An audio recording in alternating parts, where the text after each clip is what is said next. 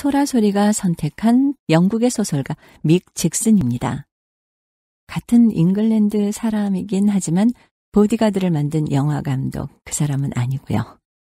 1960년생 랭커셔 태생의 작가는 데뷔부터 지금까지 유머러스하고도 기묘한 이야기들로 세계적으로 많은 팬을 확보하고 있는 인물이죠.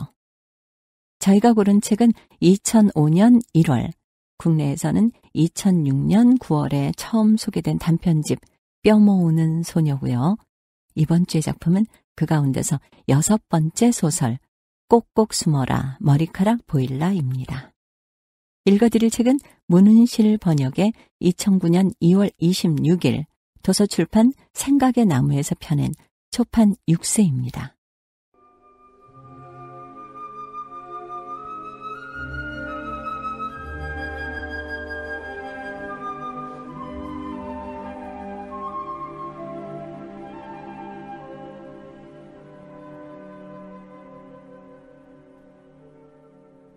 핀튼 캐리는 체구는 작을지언정 생각까지 짧은 소녀는 아니었다.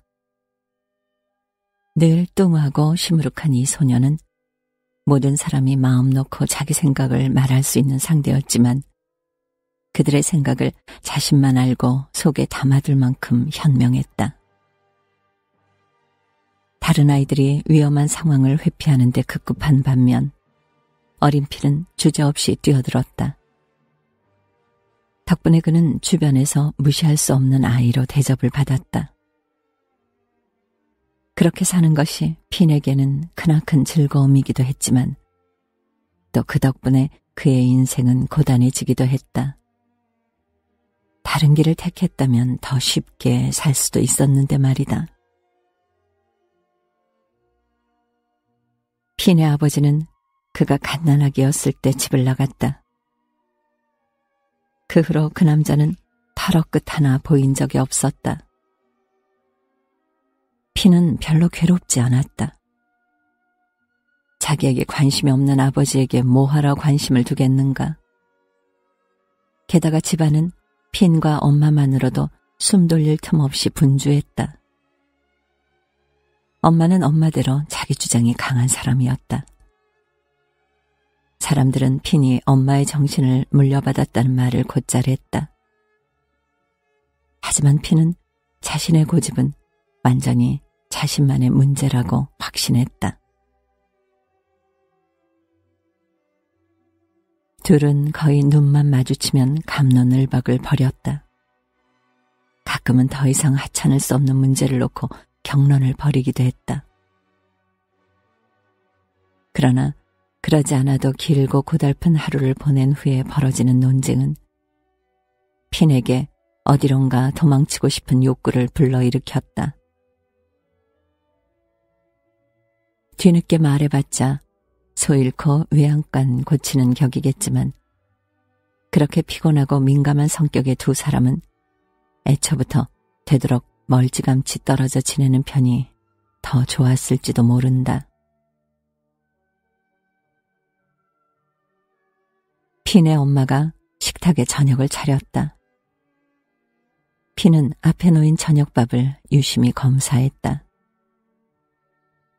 얇게 썬 고기 조각과 그레이비 소스였다. 그 앞에는 으깬 감자가 에베레스트처럼 솟아 있었고 옆에는 데친 야채 덩어리가 제 몸에서 나온 즙에 젖어 축 늘어져 있었다. 먹어. 엄마가 말했다. 그러나 피는 그저 접시만 쳐다보고 있었다. 배 안 고파요. 그가 마침내 입을 열었다. 엄마는 핀을 흘끗 보았다. 핀은 엄마가 바로 부글부글 끓어오르고 있음을 감지할 수 있었다. 그녀를 겪어보지 않은 사람들은 그녀가 차분하고 침착한 사람이라고 생각할지 모르지만 피는 엄마가 피부 아래 온갖 성질과 짜증을 묻어두고 사는 사람임을 알고 있었다. 그녀는 핀이 두 손을 들 때까지 아들을 똑바로 노려보았다. 피는 고개 한 조각을 썰어 으깬 감자에 조금 문지르고 나서는 덥석 입에 넣었다. 피는 굳은 듯 가만히 앉아 식사를 하는데 특히 씹는 행위에 매우 공을 들이는 편이었다. 그 한 조각을 씹어 넘기는 데만도 저녁 나절이 다 갈 판이었다. 야채도 먹어. 라고 말하며 엄마는 포크로 접시를 톡톡 두드렸다. 피는 흐물흐물한 야채를 내려다보면서 마음속으로 뭔가 떠오르는 것을 느꼈다. 한 번 내뱉으면 필시 시비를 불러일으킬 말이었다. 그래서 피는 그 생각을 원래 있던 자리인 머릿속에다가 가둬두고 입 밖에 내지 말아야 하지 않을까 생각해 보았다. 그러나 어떤 생각은 견디기 어려운 가려움증 같아서 그냥 내뱉어버리는 수밖에 없었다. 아우, 이런 건 엄마나 많이 먹어요. 그가 말했다. 피는 의자에 등을 기대고 앉아 음흉한 만족감을 만끽하고 있었다. 그는 엄마를 슬쩍 쳐다보며 어떤 반응이 나올지 기다렸다. 그다지 오래 기다릴 필요도 없었다. 온갖 단어가 그녀의 입에서 굴러 떨어졌다. 생전 들어보지 못했던 말도 있었다. 엄마가 만들어낸 단어인가 보다 하고 피는 생각했다. 훅군 열을 받은 상황에서 나오는 말이거나 특별한 경우에만 쓰는 말인지도 모른다. 무엇이 되었건 피는 이제 더 이상은 말을 하지 말아야 할 때가 왔음을 알고 있었다. 엄마는 두 사람 목까지 넘치게 말을 하고 있었다. 그녀는 핀의 귀를 잡고 위층으로 질질 끌고 올라갔다. 핀은 엄마 뒤를 비트적대며 따라가면서 귀를 꼬집히는 것이 얼마나 고통스러울 수 있는지 새삼 놀라고 있었다. 방에 도착한 그는 몸을 세차게 때밀리는 바람에 거의 날아가다시피 침대 위에 떨어졌다. 피는 배은망덕하고 못돼먹기 이를 데 없다는 말과 함께 다음날 아침까지 머리카락 한 올도 보고 싶지 않다는 선언을 들었다. 핀의 엄마에게는 다음날도 너무 빠른 것이었다. 방문을 막 닫으려던 차에 엄마는 잠깐 머뭇거렸다. 피는 엄마에게 아직도 심술이 더 남아있음을 알 수 있었다. 핀 자신도 둘째가라면 서러워할 무엇이었다. 치명적인 한마디로 쐐기를 박으려는 심술보가 엄마 안에서 꿈틀대고 있었다. 그는 그 말이 엄마의 마음속을 살살 간지리는 것을 볼 수 있었다. 엄마는 숨을 고르면서 제 입을 막으려고 애썼다. 실패였다. 네 아비라는 사람이 왜 너한테서 도망갔는지 놀랄 일도 아니지. 그녀는 말을 쏟아내고 문을 쾅 닫아버렸다.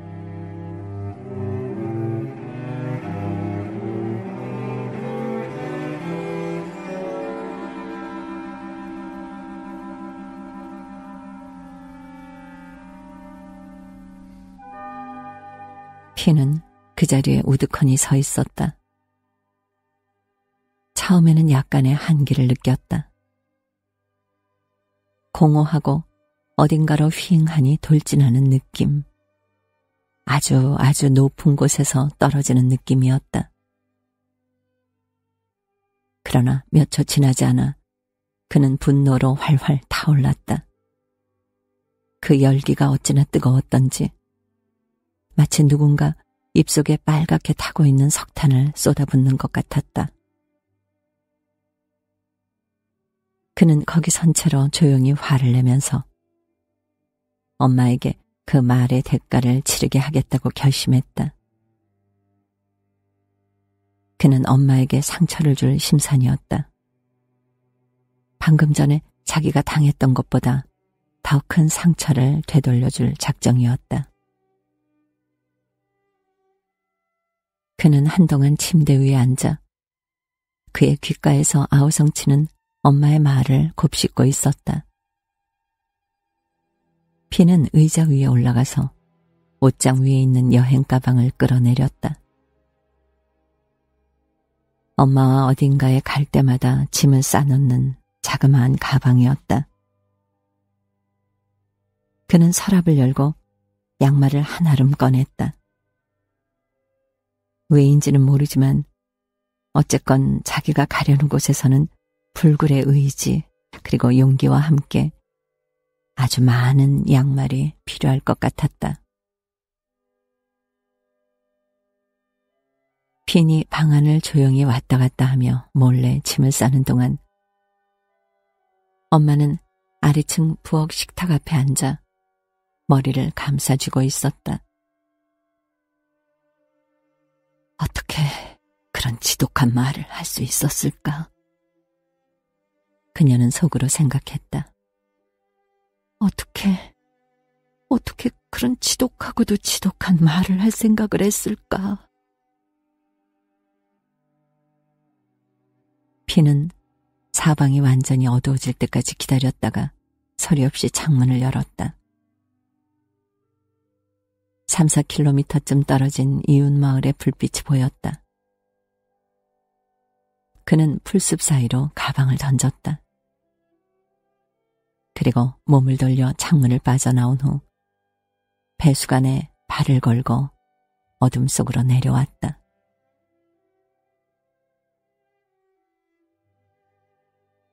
피는 골목길을 걸으며 밤 공기를 들이마셨다. 밤 공기는 어마어마하게 날카롭고 시리게 옷 속을 파고들었다. 피는 집을 나간 적이 한 번도 없었다. 그가 얼마나 괴팍해질 수 있는 소년인지를 감안한다면 꽤 놀라운 일이었다. 그에게는 가출을 심각하게 고려해 볼 만한 계기가 아주 많았다.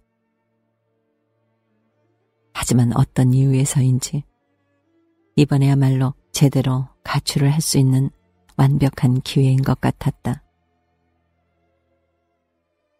하지만 가출한다는 것은 한두 가지 측면에서 그를 약간 긴장하게 만들었다. 가령 누군가에게 살해당한다거나 굶어 죽을 가능성이 있었다. 그러나 피는 양말로 가득 찬 여행 가방을 들고 머리 위로는 밝고 밝은 달빛이 비추는 길을 걸어가면서 자기처럼 뜻이 고으며 생각이 깊은 사람은 집을 나가서도 잘 살 수 있다고 스스로를 다독였다.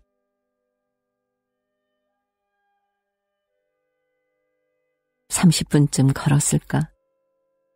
피는 숲에 다다랐다. 뚫고 들어갈 엄두가 안 날 만큼 너무나 깊었기 때문에 어린아이가 선뜻 들어설 만한 곳은 아니었다. 음식을 잔뜩 준비하고 나침반으로 무장한 어른들도 들어간 후로 다시 모습을 볼 수 없었다는 어떤 소식도 들을 수 없다는 숲이었다. 빈이 숲에 들어가 보았다고 할 수 있는 것은 단 한 번. 그것도 엄마와 함께였고 그나마 50미터인가 100미터도 채 들어가 보지 못하고 빠져나왔다. 어두워진 후 숲 근처에 가는 어린아이는 확실히 한 명도 없었다. 이상한 일이지만 숲에 발을 들여놓았을 때 피는 어떤 강력한 변화가 다가오는 것을 감지했다. 빵과 나무 껍질 냄새는 이제부터는 뭐든 자유롭게 할 수 있다는 느낌을 주었다. 숲에서 나는 소리도 그가 상상했던 것과는 완전히 달랐다. 그곳은 살아있었다. 자연은 엔진이 딸깍딸깍 하는 소리를 내듯 돌아가는 것 같았다. 숲 안쪽으로 좀 더 깊이 들어가면서 피는 점차 등 뒤로 나무들이 천천히 닫히는 것을 느꼈다. 마치 그를 숲 안에 봉인하려는 듯이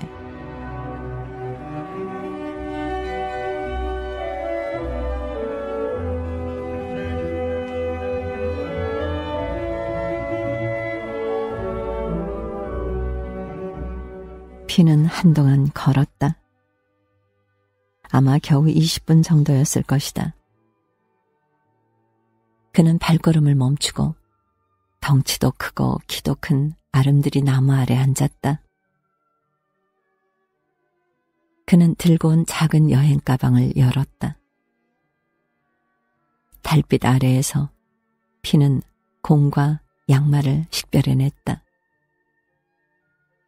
뒤죽박죽 섞여 있는 공과 양말을 보는데 갑자기 어떻게 해도 위안을 찾을 수 없을 것만 같은 슬픔이 밀려왔다. 그는 이내 뚜껑을 닫고 가방을 땅에 내려놓은 후 걸음을 옮겼다. 그리고 날이 셀 때까지 걷고 또 걸었다. 마침내 해가 떠오르고 숲의 소리가 서서히 달라지기 시작했다. 부드럽게 달그락거리는 소리에서부터 일종의 광기라도 품은 듯한 제잘거림까지. 마치 숲에 사는 주민 중 절반은 깨어나고 나머지 반은 잠자리로 돌아가는 것 같았다. 그는 조금 쉬기로 하고 땅바닥에 앉았다.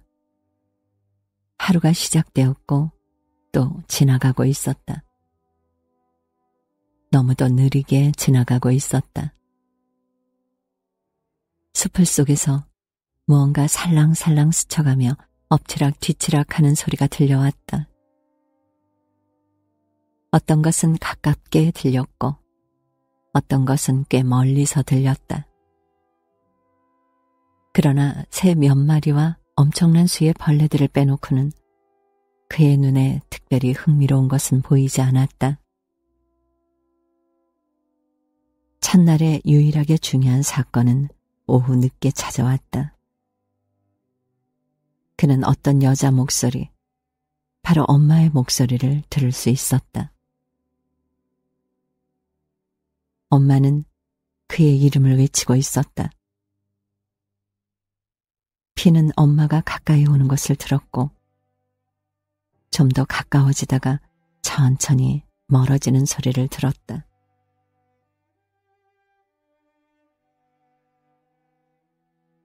둘째 날에 눈을 떴을 때 피는 허기진 배를 움켜쥐고 있었다. 전날 밤에 울었던 게 희미하게 기억났다. 그는 그 울음의 당사자가 자기 자신임을 알고 있었다. 그러나 동시에 반쯤은 잠들어 있었던지라 운 것은 자기가 아니라 다른 사람이고 자기는 그저 울음소리를 듣기만 했던 것 같은 기분도 들었다. 전날 오후에 엄마 목소리를 들었을 때처럼 똑같이 피는 나무를 타고 올라 과일을 땄고 내려와서는 딸기를 땄다. 맛이 좋았던 것은 한쪽으로 모셔놓고 나중에 먹었다. 먹고 배가 아팠던 것은 다음부터는 절대로 손에 대지 않았다. 하루하루가 지나면서 피는 온갖 종류의 것, 가령 잔가지나 풀조차 탈나지 않고 먹는 방법을 터득했다. 그는 무엇이건 내치는 대로 먹었고 개울에 가서 물을 마셨다. 하늘에서 태양이 퇴장하면 피는 나뭇잎이나 가지로 몸을 덮었다. 얕게 바닥을 파내고 그 위에 들어누워 잔가지와 흙을 모아 덮었다. 한 번은 나무에서 잡으려고 했는데 그렇게 불편할 수 없었거니와 분명히 저 아래로 떨어져서 목이 부러질 거라는 생각에 밤새 시달렸다. 그는 뜀박질을 하고 나무를 타고 뭔가 부수는 데는 도사가 되었다. 이제 피는 자신이 보통의 기준으로는 도저히 잴 수 없는 쪽으로 서서히 변화하고 있다고 느꼈다.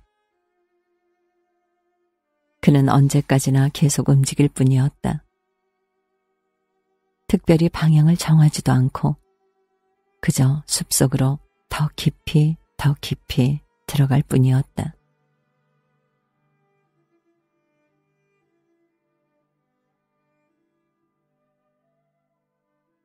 두어 주, 아니 두어 달쯤 지났을 때였다. 그는 불현듯 더 이상 엄마 생각이 나지 않는다는 사실을 깨달았다. 그저 아주 오랫동안 엄마에 대해서는 생각을 하지 않고 있었다.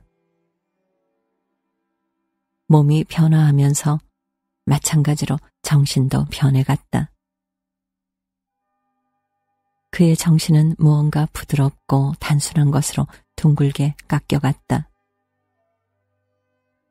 유일하게 중요한 것은 바로 다음 순간뿐이었다. 그리고 그런 변화는 그에게 깊은 안도감을 주었다.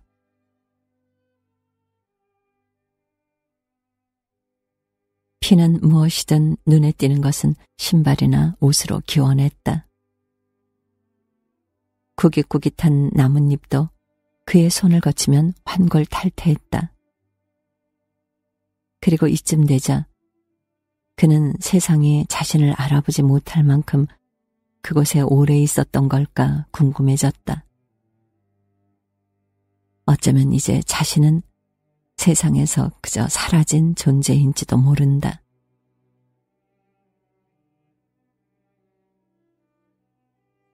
한 번은 부러진 나뭇가지를 발견했는데 약간 공을 들였더니 파이프 모양이 되었다. 노인들이 입에 물고 피우는 담배 파이프 말이다. 이제 피는 밤에 잠자리에 들기 전 노인이 그러는 것처럼 자리에 앉아서 가끔 파이프를 입에 물었다. 성냥이나 담뱃잎 따위가 있을 리는 만무했다. 그저 저 멀리 뻗어 있는 나무 사이를 바라보며 파이프를 씹었고, 그러면 긴장이 풀리면서 길고 어두운 밤을 무사히 날 수 있을 것 같았다.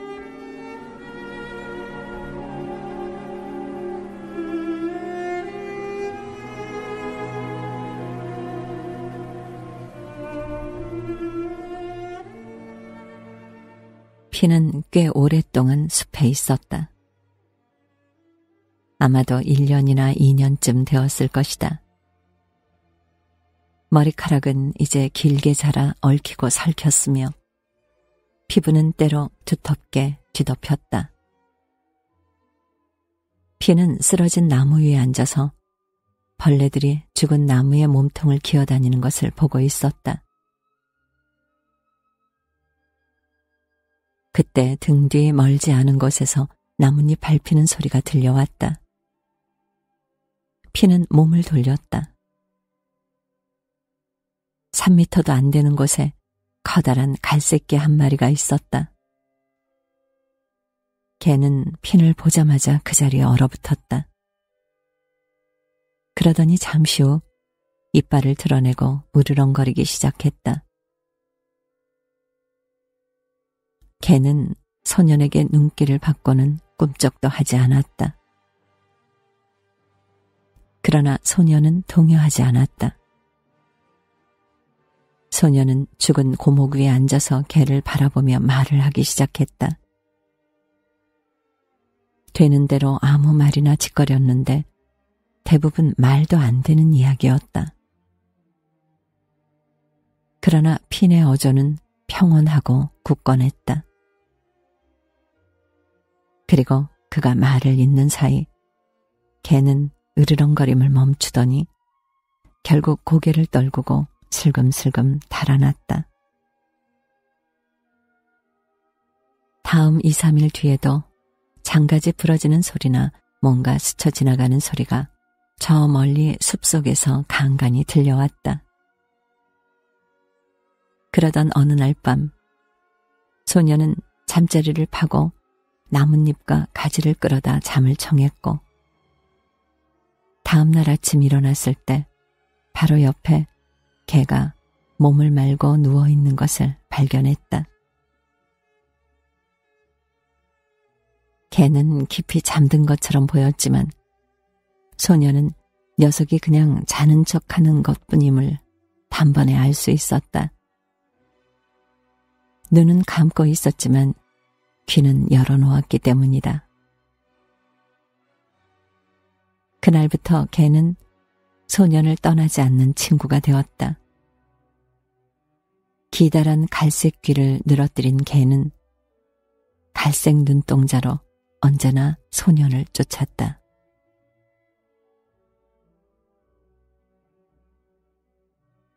숲을 가로질러 터벅터벅 걷는 동안 개는 숲을 속으로 달아나듯 사라지곤 했지만 1, 2분도 안 되어 다시 천천히 달려나왔다. 그들은 서로 잘 지냈고 하루에 두세 번쯤은 걷다가 휴식을 취했다. 하지만 그들은 움직이는 편을 더 좋아했다. 어디 특별히 가야 할 곳도 없었는데 말이다.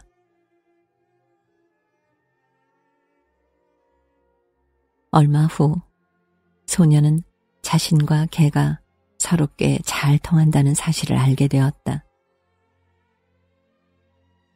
밤이 되면 소녀는 자신이 손수 만든 파이프를 꺼내 물었고 둘은 함께 앉아서 마음속에 떠오르는 이런저런 이야기를 나누었다. 개는 소년에게 과거에 주인에게 얼마나 많이 맞았는지 이야기했다. 이야기하던 도중 개는 하던 말을 멈추고 땅을 바라보며 수치감에 몸을 떨었다. 개는 계속 말을 이어갔다. 두세 번을 얻어맞았지만 그 다음에 주인이 또다시 매를 들자 더 이상은 사양하겠다며 창문을 빠져나와 무작정 도망쳤다고 했다. 그리고 결국 이 숲에 이르게 된 것이었다.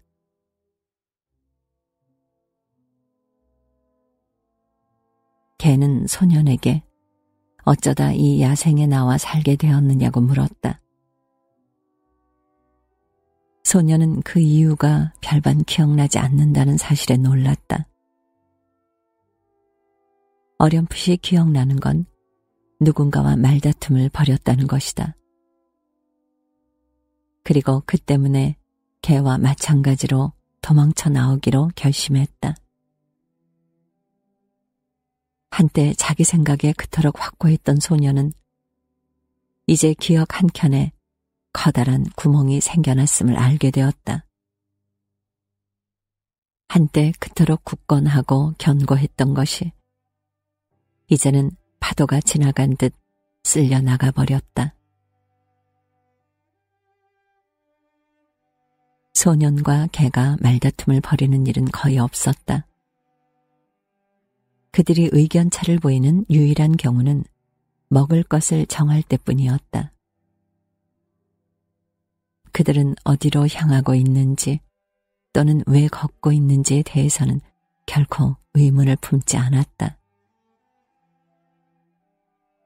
나무 위에 걸린 해가 미끄러져 내려가기 시작할 때까지 그저 한 발, 한 발 앞으로 내놓기만 했고, 그쯤에서는 발걸음을 멈추고 어딘가 제 한 몸 적시지 않고 밤을 날 수 있는 곳을 찾으려고 했다.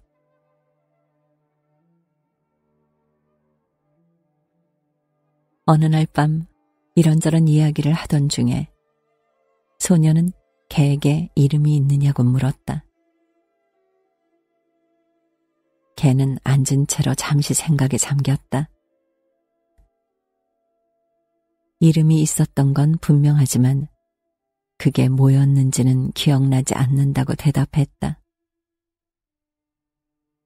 있었다 한들 무자비한 주인이 지어준 이름이었고 그래서 설령 기억난다 해도 그 이름으로는 다시 불리고 싶지 않다고 말했다.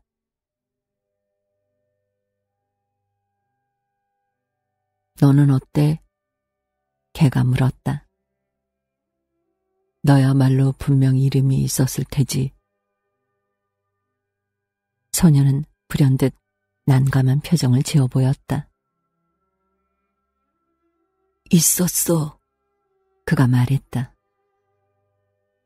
그런데 생각이 안 나. 자기 이름을 까먹었다는 사실은 소년을 몹시 괴롭혔다. 개로서는 상관없는 일이었지만 말이다. 소녀는 가만히 앉아 계속 생각을 곱씹었고 급기야 개가 그만하라고 말할 정도였다. 그러고 나서 그들은 몸을 뉘어 나뭇잎을 끌어모았고 잠을 청했다.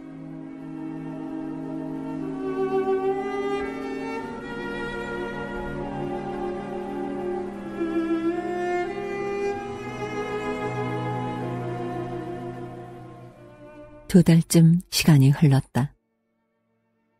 소년과 개는 여전히 함께 걷고 있었다. 그런데 이번에는 소년에게 어떤 이상 야릇한 느낌이 불쑥 다가왔다. 그는 걸음을 멈추고 주변을 둘러보았다. 개는 무슨 일이냐고 물었지만 소년은 시원스레 대답할 수가 없었다. 숲의 나무들이 기묘하게도 낯이 익었다. 꿈에서 언젠가 만난 적이 있는 것 같은 느낌이었다. 그들은 다시 조금 더 걸었고 소녀는 다시 한번 느닷없이 멈추었다. 그는 몸을 돌려 저만치 떨어져 있는 곳에 거대한 나무를 가리켰다. 나 저 나무를 알아. 그가 말했다. 소년과 개는 나무를 향해 다가갔다. 마침내 나무에 이르렀을 때 소년은 그 아래 숲을 속을 파헤치기 시작했다.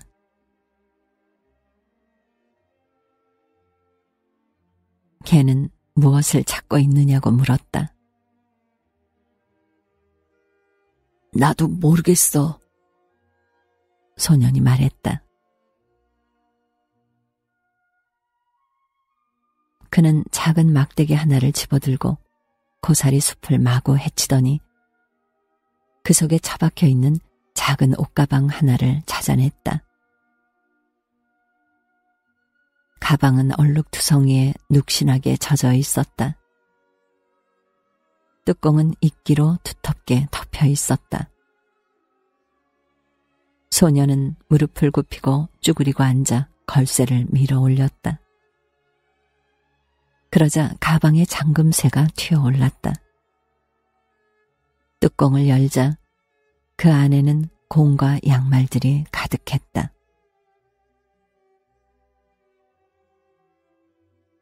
네 거야? 개가 말했다. 소녀는 몹시 혼란스러워했다. 그런 것 같아. 그가 말했다. 그들은 거대한 나무 옆에 한동안 앉아 있었다. 감당하기 어려울 만큼 너무 많은 생각이 머릿속을 지나갔다. 그의 입을 계속 다물게 했던 모든 나무가 서서히 비밀을 폭로하고 있는 것 같았다. 그는 눈을 들어 먼 곳을 향하더니 고개를 끄덕였다. 저기가 내가 온 곳이야. 그가 말했다. 소녀는 그 머나먼 곳을 멈추지 않고 계속 응시했다. 어떻게 해야 할지 잘 모르겠어. 그가 마침내 입을 열었다.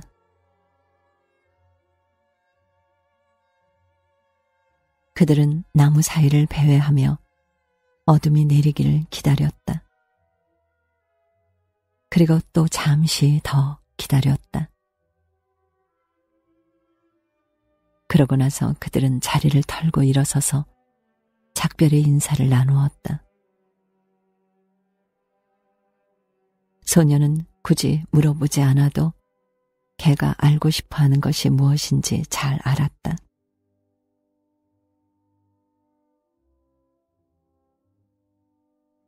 기다리기 힘들면 그땐 가. 그가 말했다. 소녀는 사람들이 다니는 골목길로 들어섰다. 발걸음을 옮길 때마다 또 다른 기억이 그를 마중 나오는 듯 했고, 그가 보내온 과거의 한 조각 한 조각이 제자리를 찾아갔다. 몇 년 만에 처음으로 그는 자기가 어디로 가고 있는지 알았다. 하지만 그것이 좋은 일인지 나쁜 일인지 확신할 수 없었다. 그의 집으로 가는 발걸음은 느릿느릿하기만 했다. 30분이 채 안 되어 그는 어린 날의 대부분을 보낸 작은 집을 어둠 속에서 올려다보고 있었다. 문을 열고 정원으로 미끄러져 들어간 후 불이 환하게 밝혀져 있는 창문 안쪽을 발꿈치를 들고 들여다보았다. 거기에는 낡은 안락 의자에 앉아 있는 엄마가 있었다. 그녀는 자고 있었고 소년이 기억하는 것보다 훨씬 늙어 보였다. 그러나 그녀는 옛날과 다름없이 그의 엄마였다.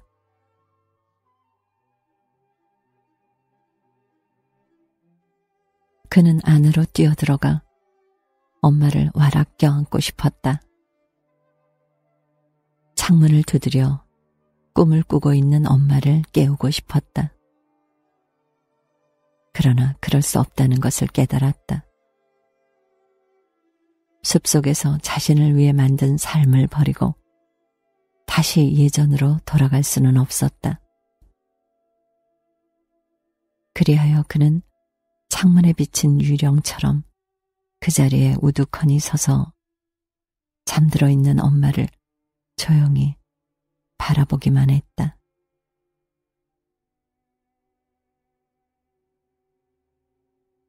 그는 자신을 감싸며 밀려드는 모든 기억을 간직하고 다시 골목길로 달려나갔다. 그날 밤은 그가 숲에서 보냈던 어떤 다른 날보다 더 생생하고 두려웠다. 숲의 가장자리에 이르렀을 때 개가 그를 맞이하기 위해 나와 있었다.